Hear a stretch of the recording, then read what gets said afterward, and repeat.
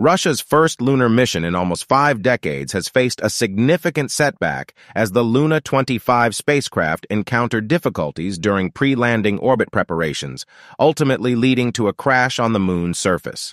This incident underscores the gradual decline of Russia's once dominant space program in the post-Soviet era. The State Space Agency of Russia, Roscosmos, reported that contact with the Luna 25 craft was lost at 11.57 GMT on a Saturday due to issues arising during its transition into pre-landing orbit. Initially planned for a gentle landing on the moon on the following Monday, the craft instead entered an unpredictable orbit and eventually collided with the lunar surface, bringing its mission to an abrupt end. A statement from Roscosmos indicated the formation of a special interdepartmental commission to investigate the causes behind the Luna 25 craft's loss. This mission had been viewed as a potential indicator of Russia's resurgence in the realm of moon exploration, fueling hopes that the country could re-enter the global competition for lunar supremacy.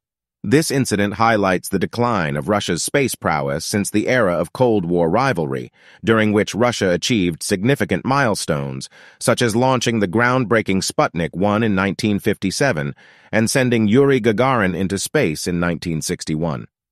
Additionally, this setback arrives at a time when Russia's economy, valued at $2 trillion, is grappling with considerable external pressures, including Western sanctions and engagement in a major land conflict in Europe.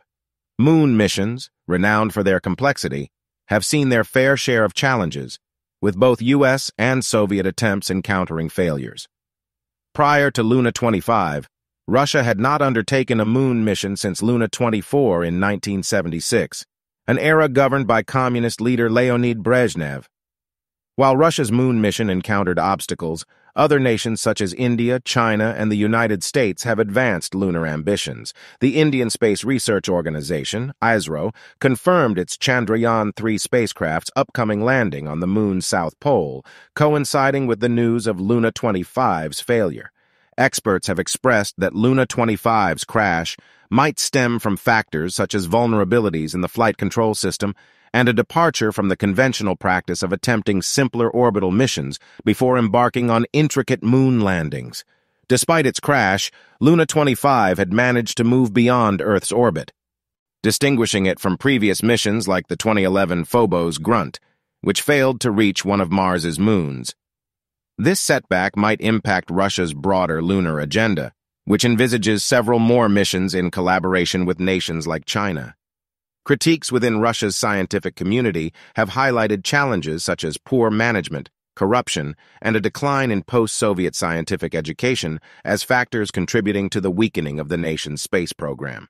The crash of Luna 25 has left many within Russia's space community disheartened, with prominent figures like physicist and astronomer Mikhail Marov expressing sadness over the mission's failure.